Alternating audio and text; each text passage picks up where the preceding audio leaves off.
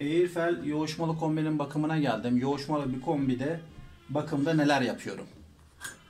Ee, burada gördüğünüz gibi gaz e, e, şey e, fanı ile beraber bu ön kısmı söktüm. Kapağı söktüm.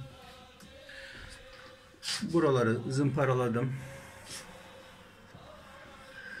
İçine de su döktüm biraz e, kaba parçalar var diye bir anda yoğuşma haznesinde onlar gitsin diye. E, çakmağı zımparaladım. İyonu zımparaladım. Kombinin genleşme tankına hava bastım. Alttaki filtre var. O filtreyi kendi filtrem var. Onunla birlikte değiştirdim. Yoğuşma e, gider yoğuşma haznesi var. Yoğuşma haznesi sesli çalışmasına da sebep olabilir. Yoğuşma haznesini söktüm, yıkadım. Kombinin genel durumuna baktım. Herhangi bir e, farklı bir ses, farklı bir e, çalışma var mı diye bunlara dikkat edip kombiyi çalışır bir vaziyette teslim alıp aldım. Çalışır bir vaziyette de teslim edeceğim.